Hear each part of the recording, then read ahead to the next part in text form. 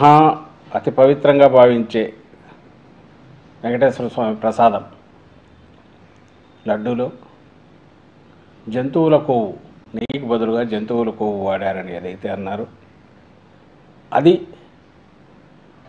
భక్తుల మనోభావాలను కోట్లాది మంది దారుణంగా దెబ్బతీయడమే కాకుండా ఒక విశ్వాసం ఏదైతే ఉంటుందో దాన్ని కూడా దెబ్బ కొట్టింది. అది అందరం గమనిస్తున్నాము ఈ వ్యాఖ్య ఆయన చేయడం ఆ తరువాత రోజే టీడీపీ ఆఫీస్లో ఒక రిపోర్ట్ అంటూ ఎన్డీడీబీది ఒక రిపోర్టు లీక్ బయటికి పత్రికా సమావేశంలో రిలీజ్ చేయడం. అందులో బీఫ్ టాలో అనే మాట ఇవి ఉండడంతో సహజంగానే అది ఏంటి? Palm oil and beef tallow ఉన్నాక బీఫ్ టాలోని ఎందుకు పామ్ ఆయిల్ ఎందుకు కాకూడదని ఇది కానీ ఇంకోటి రాకుండా అసలు ఆ- ఫిగర్స్ ఏమి ఇండికేట్ చేస్తాయో ఎవరికి తెలియకుండా చిన్నపాటి ఒక ప్రసార సాధనాలు ఏమున్నాయో యూట్యూబ్ ఛానల్స్ దగ్గర నుంచి నేషనల్ ఛానల్స్ దగ్గర నుంచి అన్నీ కూడా ఒకే రకంగా ప్రసాదంలో కల్తీ జరిగిపోయింది.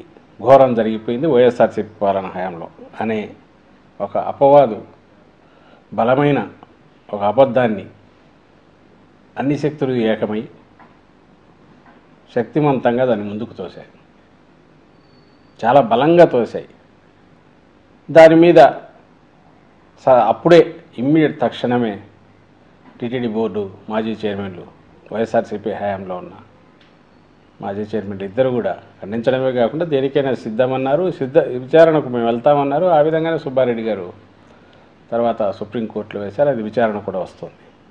సోమవారం వస్తుంది అనుకుంటా. దాన్ని అడ్మిట్ చేసుకున్నారు. సోమవారం విచారణకు వస్తుంది. దాని తర్వాత జగన్మోహన్ రెడ్డి గారు రెండుసార్లు మీడియాతో మాట్లాడి నిన్న కూడా మాట్లాడారు.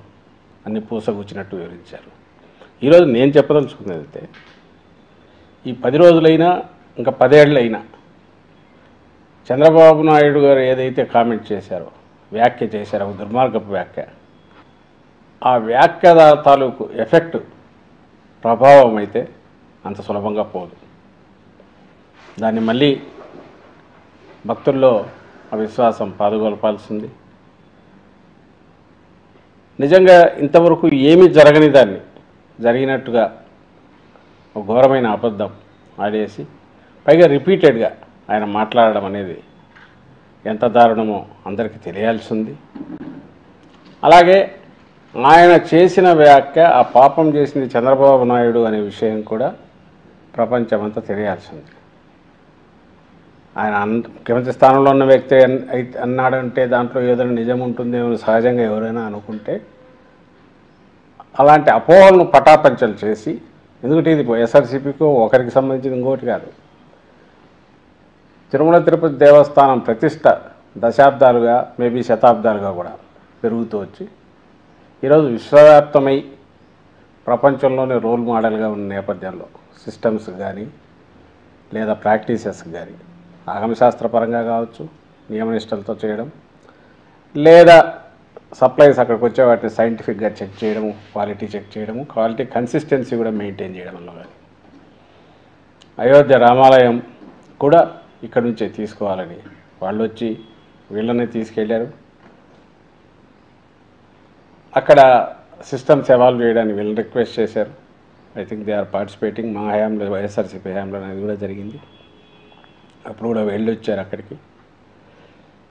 ఇంకా ఎక్కడైనా లక్షల మందిని హ్యాండిల్ చేయడము ఎలాంటి స్మూత్గా వాళ్ళకు అవసరమైనవన్నీ కూడా ఎలా హైజీనిక్గా కల్తీలు లేకుండా ఎలాంటి దాంట్లో లోటుపాట్లు లేకుండా ప్రసాదం కానీ ఆహారం కానీ అందించే ఏర్పాటు వీటన్నిటిలో కూడా ఆ సిస్టమ్స్ తిరుపతిలో అనేటివి ఓవర్ ది పీరియడ్ ఎవాల్వ్ అయ్యి ఎస్టాబ్లిష్ అయినాయి. అవి కంటిన్యూ అవుతున్నాయి. గవర్నమెంట్ ఏ గవర్నమెంట్ ఉన్నా కూడా. ఆ మొత్తం దీన్ని నేను ఒక్క దెబ్బకు బ్రేక్ చేశారు అటుపక్క భక్తుల్లో ఉండే విశ్వాసాలను దెబ్బతీశారు. ఈరోజు ప్రసాదం తీసుకోవాలంటే అందులో ఏముంటుంది అని అనుమానించే రకంగా దుష్ప్రచారం చేశారు. దాన్ని మళ్ళీ రిపీటెడ్గా అన్నారు. అలాగే ఏ వ్యవస్థ అయితే బలంగా ఆ వ్యవస్థల మీద కూడా విశ్వాసం పెరిగిందో వాటిని కూడా కించపరిచేయట్లో అందులో డొల్లతనం ఉందన్నట్టు ఒక అబద్ధపు ప్రచారం కూడా తీసుకొచ్చారు. ఇది ఆయన చేసిన ఘోరమైన అపచారం కాగా ఇప్పుడు రెలవెన్స్ ఏంటంటే ఇప్పటికే దాని గురించి డిస్కషన్ అయింది. దీని అల్టిమేట్ ఇది ఎక్కడ రిఫ్లెక్ట్ కావాలి? చంద్రబాబు నాయుడు గారు అన్న జంతువుల కొవ్వు అన్నది ఏ సప్లైస్ అయితే ఆ కంపెనీ చేసిందో ఆ కంపెనీ చేసిన సప్లైలో అది ఉందనుకుంటే అది ఎక్కడ రిఫ్లెక్ట్ కావాలి? సహజంగానే ఆ కంపెనీకి ఇచ్చిన షోకాజ్ నోటీసులో రిఫ్లెక్ట్ కావాలి. ఆరవ తేదీ పన్నెండవ తేదీ రెండు తీసుకుని షోకాజ్ నోటీసులు ఏవైతే పంపారో జూలై ఆరు పన్నెండు ట్యాంకర్లలో నుంచి చెక్ చేసి ఆ తర్వాత దాన్ని ఎన్డీడీబీ కూడా పంపారు. ఆ షోకాజ్ నోటీస్లో ఎక్కడ కూడా అనిమల్ ఫ్యాట్ అనే ప్రస్తావన లేదు. మిగిలిన మీరు ఎన్నెన్నో చెప్పచ్చు. అంటే ప్రజలను గమనించమని కోరుతున్నాం. ఈయన ఎంత అబద్ధం ఆడారని నేను ఎందుకు చెప్పగలుగుతున్నామంటే ఏదైతే ఆయన అన్నమాట టీటీడీ ఆ పర్టికులర్ కంపెనీని బ్లాక్ లిస్ట్ చేయాలన్నా లేదా దానికి షోకాజ్ నోటీస్ ఇష్యూ చేసినా దేని మీద అడుగుతుంది ఏ ఛార్జ్ పెడుతుంది ఏదైతే అత్యంత వర్స్ట్ ఇదో దాన్ని తీసుకొచ్చి పెట్టాలి. బ్లాక్ లిస్ట్లో చేస్తామన్నప్పుడు నిజంగా జంతువుల కొవ్వు ఉంటే జంతువుల కొవ్వు దీంట్లో కలిపినట్టు ఆధారాలు ఉన్నాయన్నమాట ఎందుకని లేదు అనేది మా ప్రశ్న. లేమ్యాన్గానే అడుగుతున్నాం. ఎందుకంటే సైంటిస్ట్ కాదు సైంటిస్ట్ చెప్పాల్సింది వాళ్ళు ఎలాగో చెప్తున్నారు. ఇంటర్ప్రిటేషన్ ఇస్తున్నారు. ఎన్డీడీబీనేమో వాళ్ళు అసలు అందుబాటులో ఎవరికి రావట్లేదు. నేషనల్ గవర్నమెంట్తో లింక్ ఉన్న ఏ సంస్థలు కూడా ఈ ల్యాబొరేటరీస్ ఏది కూడా కాంటాక్ట్ చేసినా వాళ్ళు ఎవరు ఆనంద సమాధానం ఇచ్చేవాళ్ళు లేరు లేదా ఫర్దర్ టెస్టులు చేయడానికి ఇష్టపడట్లేదు. అంతగా ఇది ఈ ఈ దీనికి సంబంధించిన చంద్రబాబు నాయుడు గారి వ్యాఖ్య. ఆ తర్వాత సెంటర్లో కేంద్రంలో ఉన్న పెద్దలు కూడా దాన్ని సపోర్ట్ చేసి ముందుకు తీయాలని చూడడం. వీటన్నిటి వల్ల బహుశా ఎక్కడ కూడా దీని గురించి ఎవరు చర్చించడానికి కానీ లేదా ఫర్దర్ టెస్ట్ చేయడానికి ఇష్టపడట్లా. ఇంకా సైంటిస్టులు ఎవరైనా ఉండి అయ్యో ఇది అన్యాయం దారుణం జరుగుతుంది. వాళ్ళంతటా వాళ్ళు వాలంటరీగా ముందుకు వచ్చి చెప్పేవాళ్ళు తప్ప దీని మీద అథారిటేటివ్గా కామెంట్ చేసేవాళ్ళు అయితే ఎవరు ముందుకు రావట్లా? లేదా మళ్ళీ టెస్టులు చేయిద్దామంటే దాన్ని కూడా ఎవరు టేకప్ చేయట్లా?